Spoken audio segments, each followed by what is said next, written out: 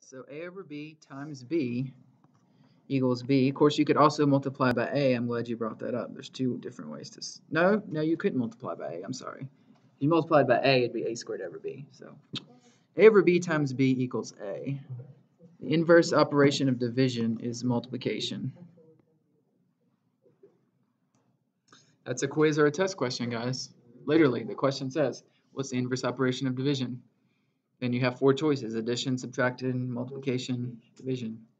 The answer is multiplication. Why do you learn that the inverse of, It says inverse, which literally means opposite. that's right, yes. We learned that the inverse of addition is subtraction and subtraction is addition.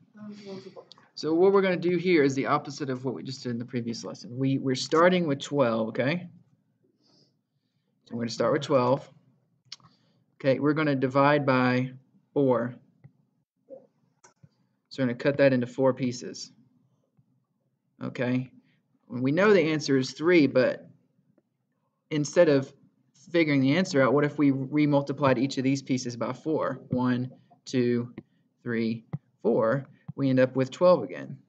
Okay? So if you undo what you just did, divide by 4 and then remultiply by 4, you end up with the same number. Okay? Let's try another one here. Say we start with 6. Okay, we're going to divide this by 2. Or no, we're going to divide it by, yeah, we're going to divide it by 2. So we divide by 2, how many blocks do we have in each? Four. Four. Yeah, there's four blocks in each, right? But we don't care about that. Let's say we remultiply by two.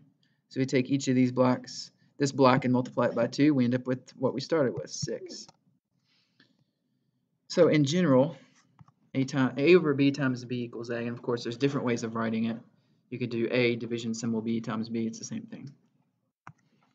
All right, so uh, let's go ahead and use kind of your example. Let's say x over y times y equals x. Okay, let's do a complicated one. This is all easy stuff. Let's do, uh, let's see, a, no, no, no, okay. Let's do square root of 7, a, b. We're going to use a different symbol here. We're going to do divided by 2 e squared, okay? And we're going to multiply by 2e squared. Anybody? Yes. Right, yes. So even though it's written differently, the we're dividing and multiplying, which is the inverse of each other. So we just end up with the same thing we started with. All right, we will do one more, even though we don't really need to. This one's pretty simple. We'll do the third way we can divide. So let's do E. Let's use our hand. Let's go back to our handy I. Does anybody remember what I represents? Square root of negative one, right? And if we re-multiply by i, we end up with what? E. Okay?